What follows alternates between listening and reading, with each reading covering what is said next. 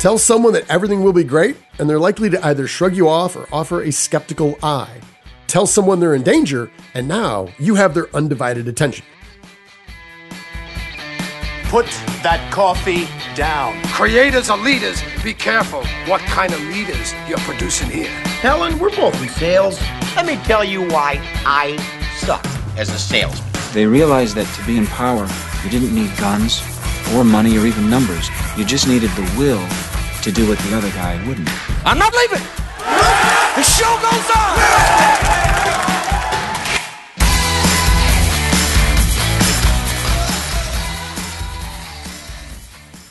Well, hello there, friend. Welcome back to the Construction Leadership Podcast. I'm your host, Bradley Hartmann. Now, with the summer upon us, it is time for our quarterly APB. And no, it's not an all points bulletin. It is nothing nearly as serious as that. It's a recommended trio of content, an article, a podcast, and a book, one each, that I believe is worth your time and attention. First up, the article. My family and I recently watched the new Avatar movie titled The Way of Water. It cost an estimated 350 to 400 million dollars and took 12 years to make. Now, while it was long, my wife and my 11 year old didn't make it to the end. It was pretty incredible. And that is how director James Cameron rolls big. Cameron has been responsible for some of the most expensive movies ever made. Terminator, Rambo, First Blood Part 2, Aliens, The Abyss, Terminator 2, True Lies, Titanic, and Avatar. Now, regardless of the cost, how many, I ask you, how many were unprofitable? Zero. Not one. Every single movie has made money. So, with that in mind, I went looking for more information on James Cameron and stumbled into this article by GQ Magazine's Zach Baron. It's titled The Return of James Cameron, Box Office King. The link is in the show notes, and at the top of the article, you can choose to listen to the article as well. No app necessary. It's pretty slick. You just hit play. But there are two specific segments of the article that I think will resonate with you. And the first is about the magnetism for difficult. Here's a quote from the article. But as Cameron worked late into the evening, day after day, solving the infinite problems that The Way of Water continued to present, he seemed to be enjoying himself. I like difficult, he told me. I'm attracted by difficult.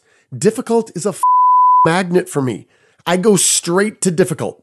And I think it probably goes back to this idea that there are lots of smart, really gifted, really talented filmmakers out there that just can't do the difficult stuff.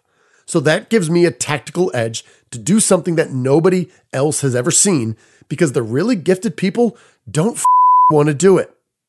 The second excerpt here that I want to call attention to is about leveraging expertise, which is what this APB is all about.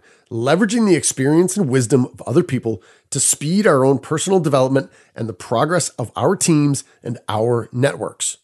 Here's the quote it was while working as a truck driver in his 20s that Cameron decided to become a filmmaker, and so he taught himself filmmaking. He'd go to the stacks at the library at USC, University of Southern California, home of a vaunted filmmaking program Cameron couldn't afford. I'd find somebody's 300 page dissertation on optical printing, Cameron said, and I'd be going through it and I'd think, well, I gotta get this. So I'd pull the staples out and I'd photocopy the entire 300 pages. And then I just kept doing the same thing week after week for about six months. And I'm driving a truck, but I had these binders sodium process, blue screen, optical printing, film stock emulsions, lenses, cinematography. I was either getting stoned and watching Saturday Night Live's first season, or I was going through this stuff, chapter and verse, making my own notes and all that. I basically gave myself a college education in visual effects and cinematography while I was driving a truck. Now, it begs a pair of questions for the ambitious among us. Number one, what are you willing to do with your schedule to improve yourself? And number two, whose work are you learning from so you don't have to find all the answers and make all the mistakes yourself? Speaking of Saturday Night Live, for any of you that also have a typeface and font OCD like I do, I cannot think, let alone write about or record about Avatar without thinking of the SNL short with Ryan Gosling. Stephen. Not this again. I forgot about it for years, but then I remembered that Avatar, the giant international blockbuster, used the papyrus font as its logo. Avatar, the movie from like nine years ago? Yeah, he just highlighted Avatar, he clicked the drop down menu, and then he just randomly selected papyrus like a like a thoughtless child just wandering by a garden, just yanking leaves along the way. And so now you're worried about the sequels that are coming out? They're making more? You've shown me this before. I don't even think this is literally papyrus. Maybe that was the starting point, but they clearly modified this. But whatever they did, it wasn't enough!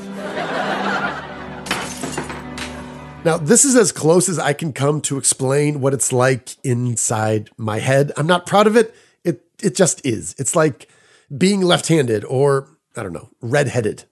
Now for the podcast. One of my favorite new podcasts is called Invest Like the Best with Patrick O'Shaughnessy. The podcast title caused me some consternation as I'm largely disinterested in listening to finance and investing podcasts, but this isn't like that at all. O'Shaughnessy has strong hosting skills and he's got a wide array of guests on the show, including relatively recent episodes featuring an African animal tracker and venture capital legend Doug Leone. Both of them were great.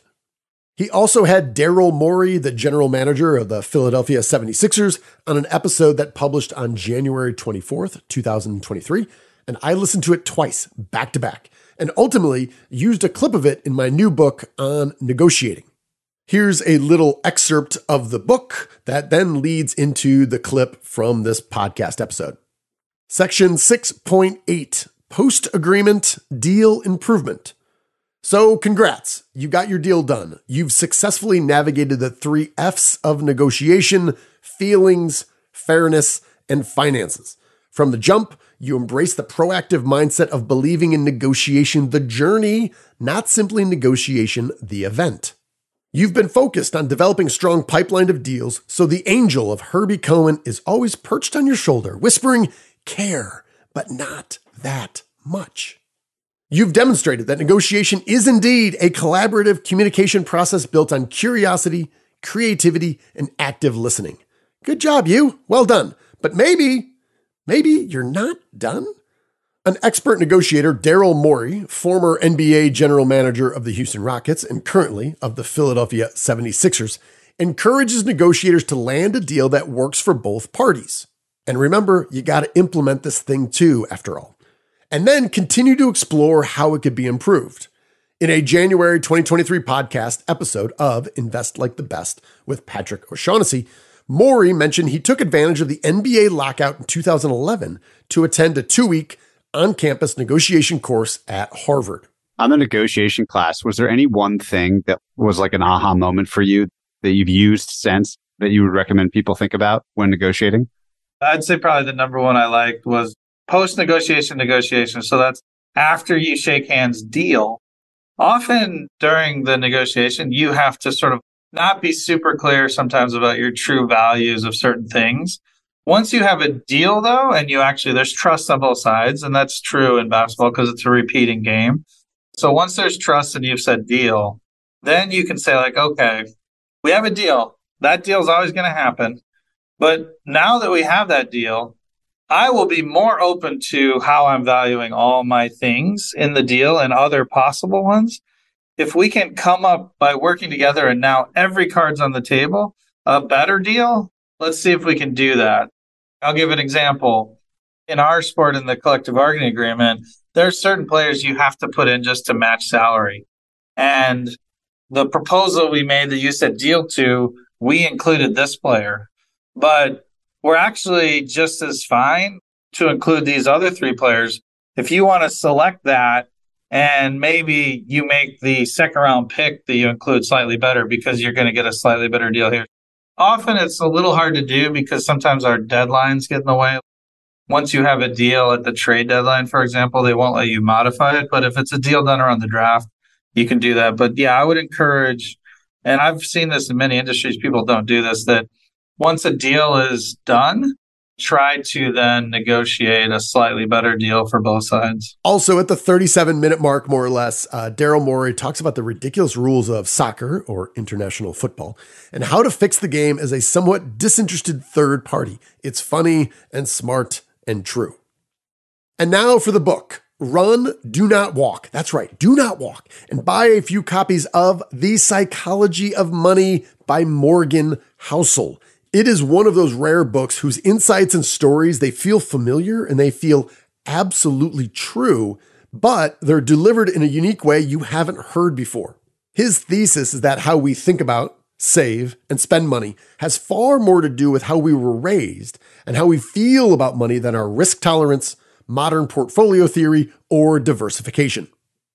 Chapter four in his book is titled Confounding Compounding. And his little quip there that he has on each one of the chapters says 81.5 billion of Warren Buffett's 84.5 billion net worth came after his 65th birthday. I'm going to read that again.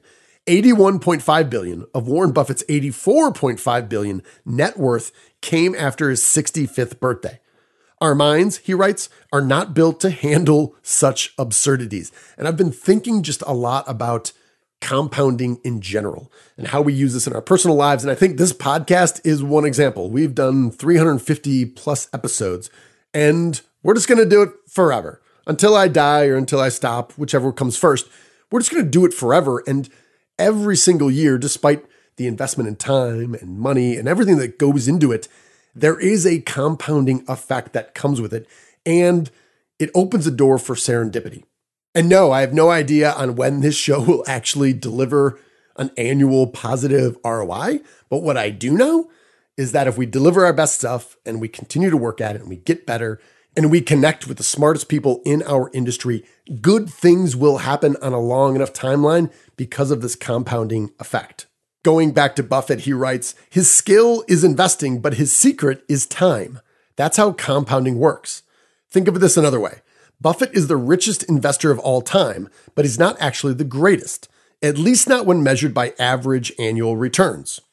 Jim Simons, head of the hedge fund Renaissance Technologies, has compounded money at 66% annually since 1988. No one comes close to this record.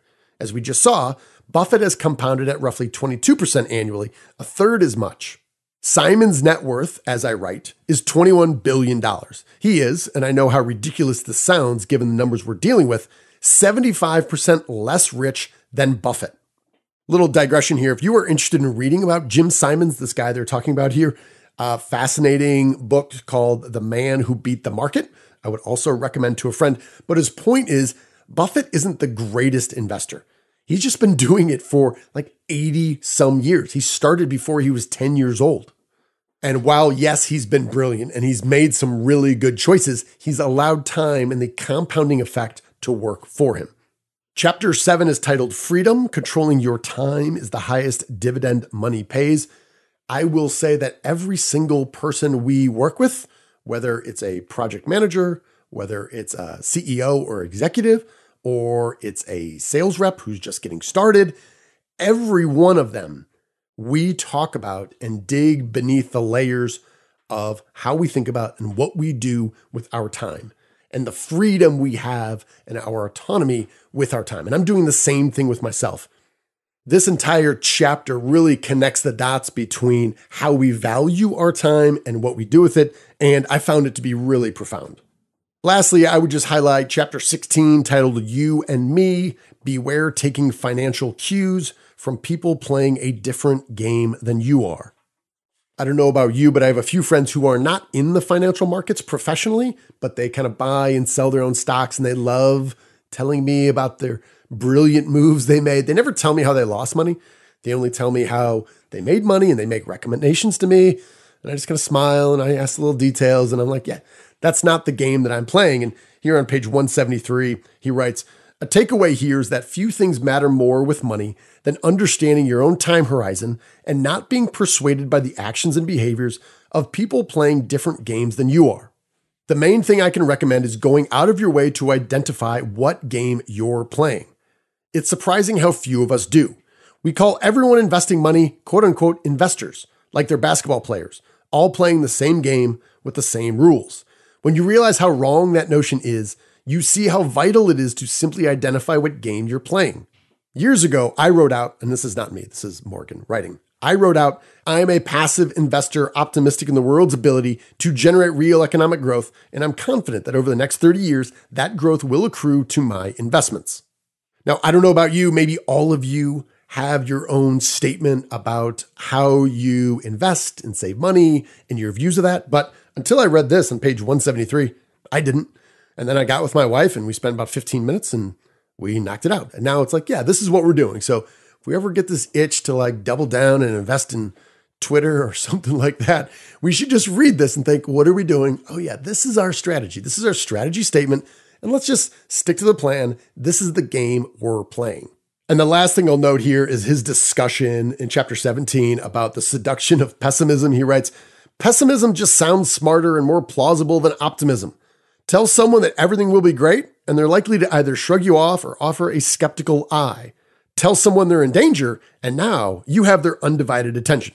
I couldn't agree more. And this understanding about optimism and pessimism and where you fall, you know, in that spectrum and how it relates to finances and investing is so important. So if I continue on, I'm just going to like read this entire book to you, which you don't want. I don't need to do. Morgan Housel already did that. It's on Audible. All I will say, if you or anyone you know uses money I'd strongly recommend you invest in this book now.